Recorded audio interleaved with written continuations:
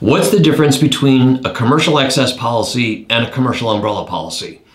Which one is better? How are they different and how are they similar? I'm going to explain that coming right up. Hi, I'm Gordon Coyle. Welcome back to my channel where I discuss all things related to insurance and risk on the minds of business owners. At the end of this video, I'm going to give some common mistakes made by business owners and insurance agents when it comes to both umbrella and excess insurance policies, so stick around. So you may be looking at proposals of insurance and one includes excess liability insurance and another one includes umbrella liability quote. And you're wondering, what's the difference? Which one is better than the other? So let's start off with defining broadly the two coverage forms. The first one is, what is commercial umbrella insurance? Commercial umbrella insurance is a policy form that provides increased limits of liability protection over and above a schedule of underlying insurance policies, and it can provide broader protection than what's covered in those underlying policies. An umbrella policy is designed to pick up protection where the underlying liability policies leave off, as well as fill in some gaps and limitations of those underlying policies. And that leads me to the next question What is commercial excess insurance? A commercial excess insurance policy also provides increased limits of liability protection over one or more underlying policy forms. In most cases, the excess policies will follow the underlying policy form. If it's not covered in the underlying policy, it's not going to be covered in the excess policy. Further, the excess policy is generally not as broad as an umbrella policy. So what is underlying insurance? I've used the term underlying or underlying insurance several times. So I think it makes sense to describe that as well. Underlying insurance are the actual policies that are described in the umbrella or the excess policy known as the Schedule of Underlying Insurance. For example, for a small business owner who may have a BOP policy that includes general liability and non-owned and hired auto liability, plus they have a workers' compensation policy which also includes something called employer's liability.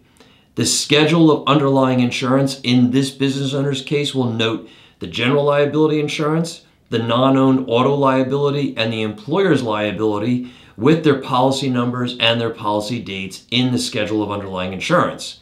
A critical element of both the umbrella and excess policies is that if the underlying insurance schedule omits a policy that should be on the schedule, there's going to be a problem, and I'm going to discuss that in a moment.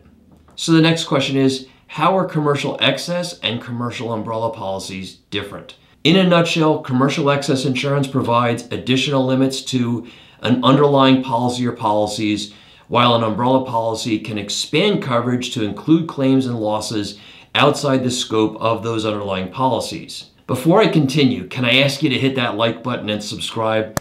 That'll help my channel grow so more business owners can see content like this. Thanks. So that may give rise to the question, which one is better, an excess policy or an umbrella policy?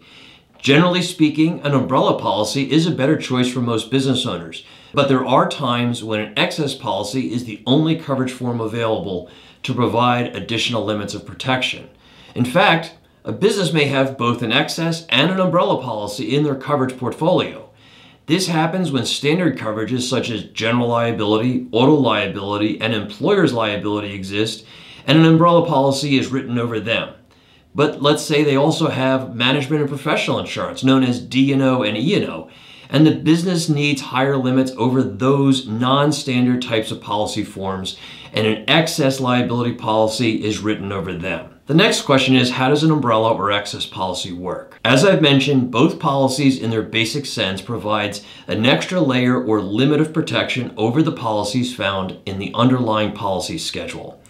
Let's use an example to illustrate this. If your company had a customer slip and fall inside your store or your office or on your premises and they badly injured themselves and they sued you for a million and a half dollars and won, your general liability policy would pay out first on that claim and say that policy had a limit of a million dollars, then that policy is exhausted. Then the umbrella or excess policy would kick in and pay the $500,000 shortfall of that million and a half dollar lawsuit. Who needs excess or umbrella liability protection? In my opinion, all business owners should consider purchasing excess or umbrella protection. It's typically very affordable and provides what I call sleep insurance, knowing that you've got extra protection helps you sleep at night. The other thing I want to mention is that many agents will often only quote a million dollar limit on an umbrella policy. If you have a lot to lose in a lawsuit, you should be looking at higher limits of protection. In fact, on your renewals, you should be asking to see options for $3 million, $5 million, or even $10 million, depending on the size of your business. So, let's talk about those common mistakes when it comes to umbrella and excess policies. There are several mistakes that I see when we audit insurance programs for prospective customers when it comes to these policies.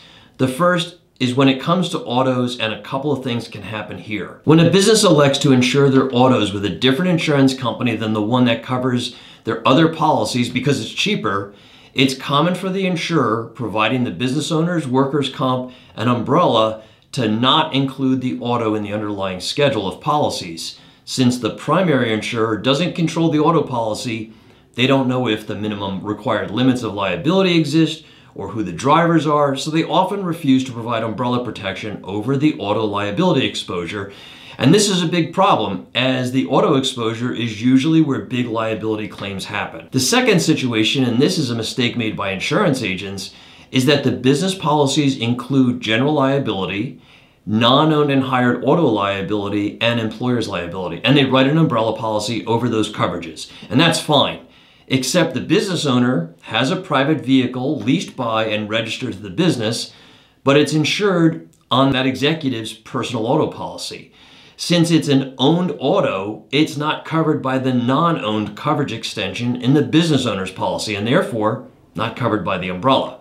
Little technical, but this is where a lot of mistakes happen, and they're dangerous mistakes. Finally, we commonly see certain coverages not included in the underlying schedule of policies, which should be included. This is just sloppy behavior by agents and brokers, and it really shouldn't happen. Here's the bottom line. Excess or umbrella liability insurance policies are both similar, but they're also very different, and structuring extra protection over underlying policies is critically important. If you're looking for a team of dedicated experts to work with you on your business insurance, I'd love an opportunity to chat and see if we'd be a good fit for you and your business. Thanks for watching, and don't forget to hit that like button.